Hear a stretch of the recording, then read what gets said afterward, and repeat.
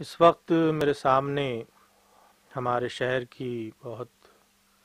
ممتاز شخصیت لطف اللہ خان صاحب بیٹھے ہیں۔ ممتاز کا لفظ بھی بہت عام استعمال ہوتا ہے، لیکن میں یہ سمجھتا ہوں کہ جو انہوں نے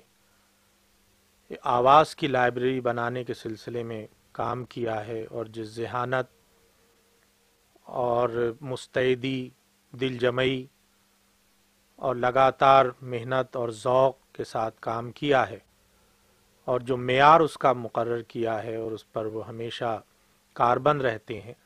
ان سب چیزوں کو یکجا کرنے کے بعد ممتاز کے لفظ کو غالباً عام معنوں میں استعمال کرنے کا مجھ پر